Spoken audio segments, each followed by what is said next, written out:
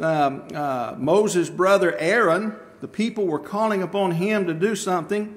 They said to me, Make us Elohim, make us gods, if we're reading that in English, who shall go before us? You know, that's when Aaron made the golden calf. Make us gods to go before us. The term Elohim is used more than 2,000 times in the Old Testament, and it's used interchangeably with the God of the Bible and the numerous gods of the pagans. For example, in the book of Exodus, chapter 20, in what we know as the Ten Commandments, I want you to notice how that term is used. The Bible says, beginning in verse 2, I am the Lord your Elohim, I am the Lord your God, who brought you out of the land of Egypt, out of the house of slavery. You shall have no other Elohim, you shall have no other, look at your Bible, gods before me. And so the Bible speaks of more than, than one. But my question is how can that be? Does the Bible contradict itself? There's one, and yet there's more than one? Well, the answer to that is no. There are three distinct personalities of deity. Three distinct personalities of deity. Now, the most, the probably the easiest place, or at least one of the easiest places to see that, is found in the book of Matthew 28 at verse number 19. The Bible says there, Go therefore and make disciples of all nations, baptizing them in the name of, by the authority of, if you will, Father, the Son, and the Holy Spirit. You see, we've got three distinct personalities that are mentioned there. It wasn't until about 260 AD. You know, that's uh, over 200 years too late. But it was in about AD 260 that Sabellius denied the doctrine of God having three distinct personalities. See, Sabellius talked about a unipersonal God. And he said the names of the Father and the Son and the Holy Ghost merely designate the same person with three different capacities. You know what? There's still religious organizations today, denominations that affirm this oneness doctrine, and it's not our purpose today to talk about those folks, but it is to talk about the, the Bible. Those today, though, still, like Sabellius, teach that as the Father, God created the world, as the Son, He redeemed the world, and as the Holy Ghost, He sanctifies the elect. That's their basic doctrine. They aren't persons, but they're one taking on different roles. I simply would call your attention to the Word of God. The Bible always explains itself better than any man can. In the book of Matthew, chapter 3, if you have your Bible with you, turn there and look at verses 16 and 17. The Bible talks about the baptism of Jesus. It says this in the reading and when Jesus was baptized, immediately he went up from the water, and behold, the heavens were opened. And he saw the Spirit of God descending like a dove and coming uh, to rest on him. And behold, a voice from heaven said, This is my beloved Son, in whom I am well pleased. Three things that we need to note there. Number one, it was Jesus who was baptized, was it not? We have Jesus going to John. We have John having a discussion with Jesus before he actually baptizes him, and then it's Jesus who is baptized. But it's Jesus who is baptized and who is still standing there when he looks and he sees the Spirit, the Holy Spirit of God, coming down from heaven and resting upon him. Now, wait a minute. For at least a time, we have two, don't we? We have Jesus who is standing there, we have the Holy Spirit who is descending from heaven. And so we have Jesus who was baptized, we have the Spirit of God, as he mentions it there, who descended from heaven. But wait a minute. While we're still there, we have a voice from heaven that said, This is my beloved Son. Who was speaking from heaven? Well, if he's talking about his Son, we understand that it is the Father who is in heaven. Now, was the Holy Spirit just uh, doing a ventriloquist act?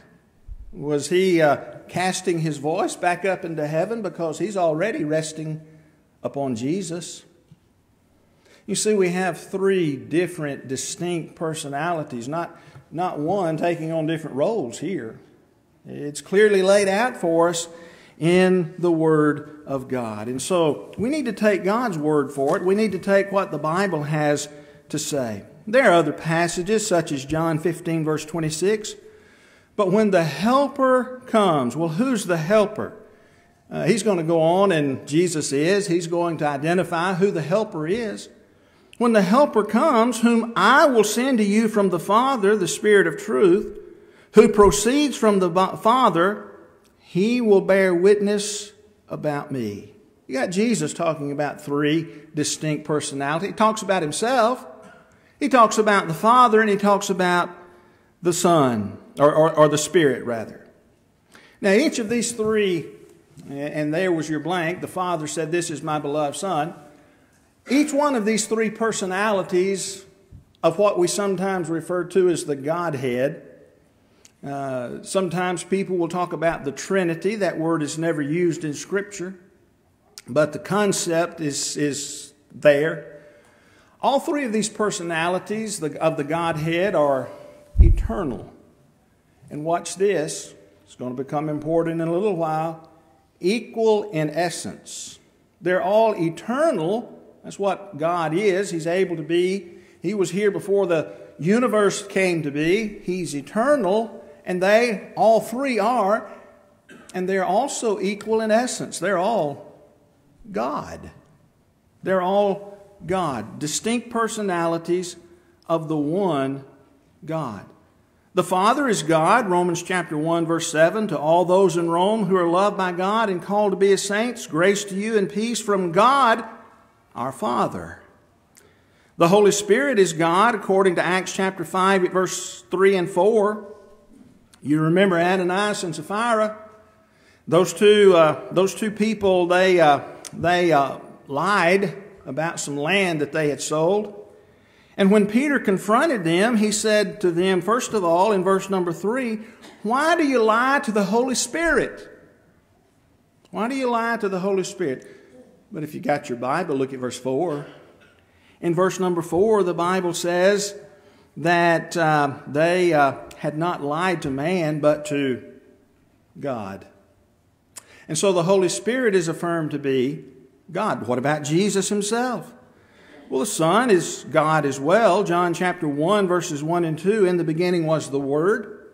The Word was with God, and the Word was God. Who's the Word? Well, all you got to do is go down to verse number 14, and that Word became flesh. And he begins to keep talking about Jesus. And so, God the Father is God, God the Holy Spirit is God, and God the Son is God. Now, these three different personalities work together to accomplish God's purpose. Whatever it was that God, these three distinct personalities, whatever it is that they wanted to accomplish, they all work together in perfect harmony to do that. As you think about that, I want you to think about God's purpose in creation. God's purpose in creation. Who created the world?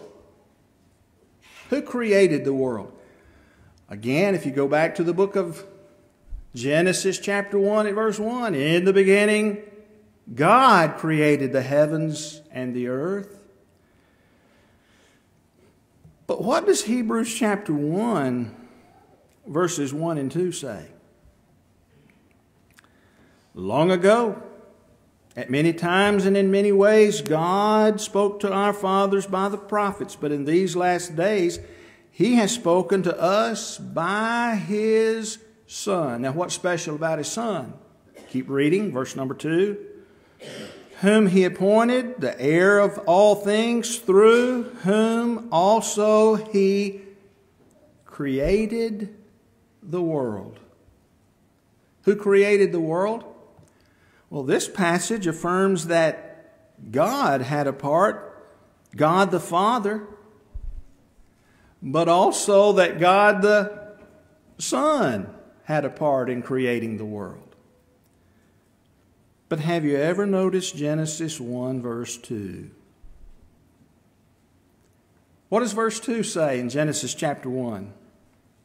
After saying that in the beginning God created the heavens and the earth, the Bible says the earth was without form and void, darkness was over the face of the deep, and the Spirit of God was hovering over the face of the waters. Seems we have the Spirit who is there as well doing something, and Job at least thought he was. In the book of Job, chapter 33, at verse number 4, Job affirms this The Spirit of God has made me, and the breath of the Almighty gives me life. We have creative power resting in the Spirit of God as well. And so the point is, they all work together in perfect harmony to accomplish the purpose of God, to accomplish God's purpose in creating the world, the universe, as we know it. But you know what? It's not just creation in which they work together. What about our redemption? What about our salvation? Have they not worked in perfect harmony in regard to that as well? Now, you may have noticed this morning uh, we had a long Bible reading. Uh, verses 3 through 14 that, uh, that we had. Usually we have two or three verses that are read, but had a little bit longer one this morning. Why? Because Ephesians chapter 1 is one of the best outlines found in Scripture for the roles of each of the beings in the Godhead, for the Father, the Son, and the Holy Spirit, as it relates to our redemption, our salvation. When we look at that passage, we find verses 3 through 6 talking about what the Father did. We find verses 7 through 12 talking about what the Son did. And we find verses 13 and 14 talking about what the Holy Spirit did in regard to our salvation. I don't want to take time because our time is limited this morning to go back and read all of those verses again.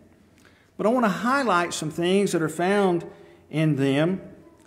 As we look at verses 3 through 6, we find that the Father's role was making and preserving the plans for our redemption. Notice beginning in verse 3 that God and Father of our Lord Jesus Christ, He did something. What did He do? Keep reading there. He blessed us with every spiritual blessing. He chose us, verse number four, in Him before the foundation of the world. Verse five, He predestined us for adoption to Himself as sons through Christ Jesus. What was it that God did? He planned. He came up with the plan that would save mankind. That's what's indicated to us by inspiration through the Apostle Paul. God the Father was the one Uh, who had the plan. What about verses 7 through 12? What was the Son's role? Well, Jesus' role was to enact the plans that God had made. Notice in verses 7 through 12, in Him we have redemption through His blood Jesus came to die for us. The forgiveness of sin, uh, forgiveness of our trespasses according to the riches of His grace. In Him we have, verse 11, obtained an inheritance.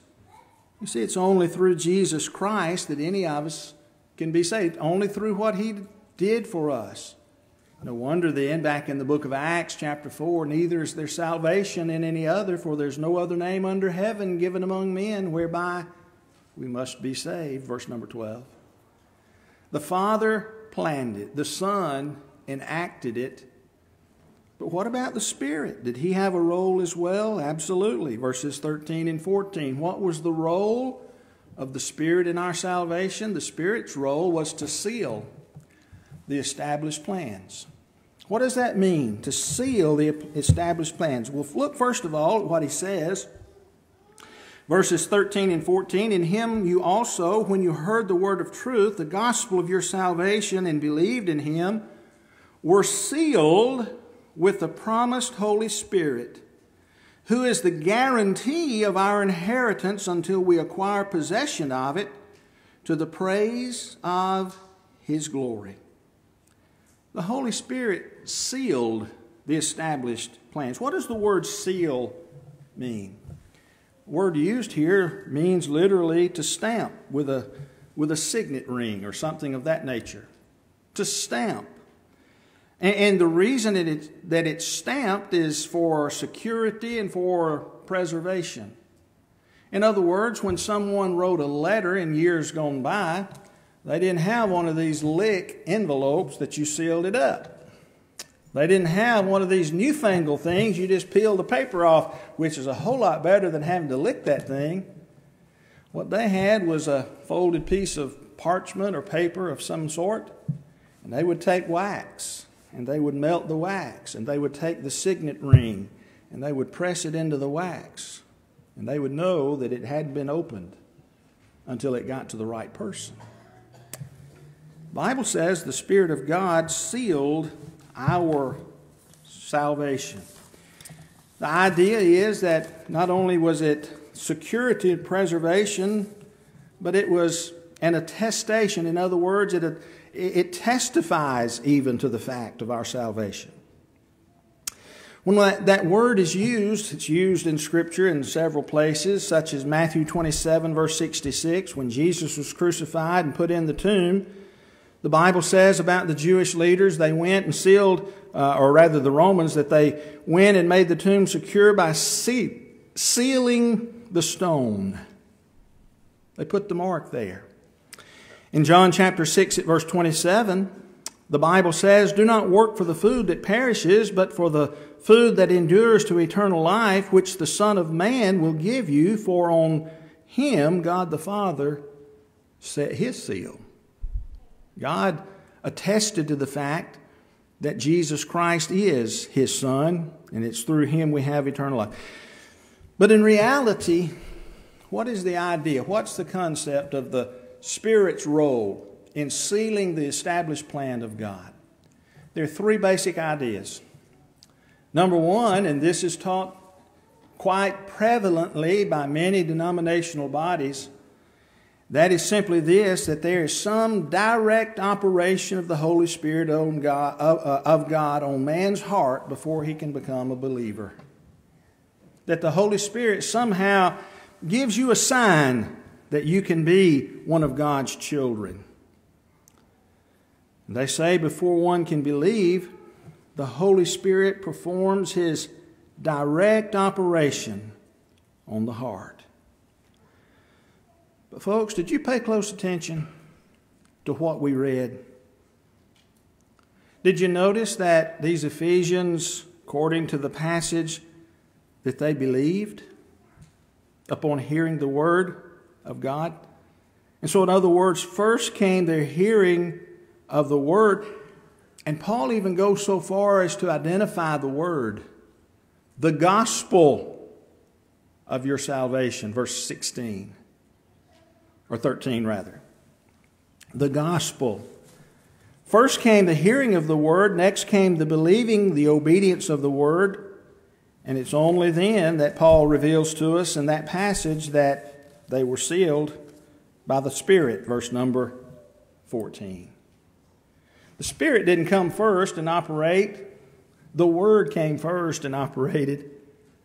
The hearts of the people was touched by the Word they believed, became obedient to God, and then the Spirit was sealed, uh, came to seal them.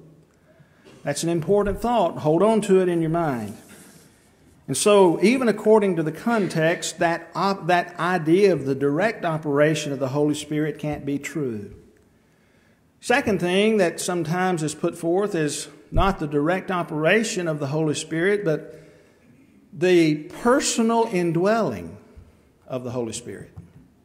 A personal, in, in other words, the Holy Spirit inhabits the body of man in some way, not a miraculous way that's taught by many of our, um, you know, none of our brothers in Christ that I know of understand and, and would teach a miraculous way, but somehow the Spirit comes in and dwells in the body of man.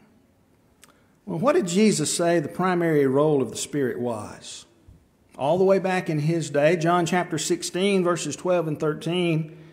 Jesus said, I still have many things to say to you, can't bear them now. When the Spirit of truth comes, he will guide you into all truth. For he'll not speak on his own authority, but whatever he hears, he'll speak, and he'll declare to you the things that are to come. Seems that the primary reason Jesus was sending the Spirit back was to guide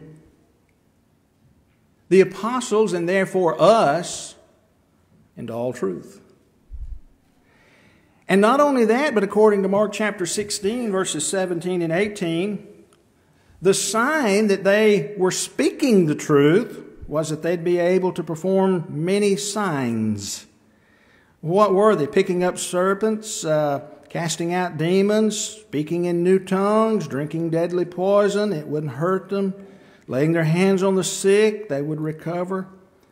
All of those things that we see that the apostles were able to do, and others upon whom they laid their hands were able to do after Acts chapter number 2. Now, if Ephesians chapter 1 is teaching us the primary roles of each member of the Godhead, and the primary role of the Spirit is to reveal and confirm the Word, then it's very unlikely that this sealing has to do with the personal indwelling of the Holy Spirit in every believer. And so, what is it that Paul is talking about? There's a third possibility, and that is the miraculous working of the Holy Spirit in the first century to confirm the Word of God. Just what Jesus said would happen in Mark chapter 16, verses 17 and 18. Now, how do I know that? What proof do I have? All we need to do is go back to the beginning of the church at Ephesus in Acts chapter 19. The Bible says, beginning in verse 1 of Acts chapter 19, it happened that while Apollos was at Corinth, Paul passed through the inland country and came to Ephesus. And there he found some disciples, and he said to them, Did you receive the Holy Spirit when you believed? What was their answer? Well, their answer was this uh, we don't even haven't even heard that there is a Holy Spirit. Now wait a minute. I want you to go back and think about verse number two there for just a second. Paul says, Did you receive the Holy Spirit when you believed? What came first in the lives of these men who are there at Ephesus? Their faith in Christ as the Savior. They hadn't received any Holy Spirit yet. Isn't that what we just pointed out out of Ephesians chapter 1? That the belief, the hearing of the word came first, the belief came next, and then the sealing of the Spirit came? Did you receive it? No, we haven't even heard. And so he said, Unto what then were you baptized? They said, John's baptism. Paul said, John baptized with the baptism of repentance, telling the people to believe in the one who was to come after him. That's Jesus. On hearing this, they were baptized in the name of the Lord Jesus. And when Paul had laid his hands upon them, the Holy Spirit came on them. And what were they able to do? Continue reading. They began speaking in tongues and prophesying. There's your signs again. And so we have again the revelation and the confirmation of the Word of God by the Spirit. Those folks that, that at Ephesus could know that they were in Christ. and that the preaching that had been done to them was true because of what those men, such as Paul, who came, these men, the ones that Paul had converted, and laid his hands upon them because of the things that they could do. Their guarantee was there. They weren't believing a myth, it was the truth. And so the Spirit seal uh, sealed the plans. Very quickly, as we come to a close, and notice you may note that you have one more blank on your sheet. We'll fill that one in. That's simply this. Though these three distinct personalities are equally God in their essence, they're not equal in authority. What do you mean?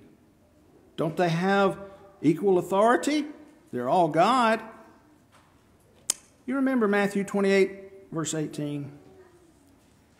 Jesus came and said to them, All authority is given to me in heaven and on earth. Where? Everywhere there is. Even in heaven and on earth. It's been given to me. In John 16, verses 12 and 13, Jesus pointed out, I still have many things to say to you, talking to his apostles, but you can't bear them right now, so I'm going to send the Spirit. What happens when the Spirit comes? The Spirit of truth? Well, he'll speak, won't speak on, will not speak on his own authority, verse 13. Whatever he hears, he will speak, and he will declare to you the things that are to come. He will glorify me, for he'll take what is mine and declare it to you. He spoke through the authority of Jesus. But in the book of 1 Corinthians, chapter 15, verses 24 through 28, Paul writes about a time when Jesus, who now has all authority, will deliver the kingdom to God the Father. And he goes on, he says in verse number 25, For he must reign until he has put his enemies.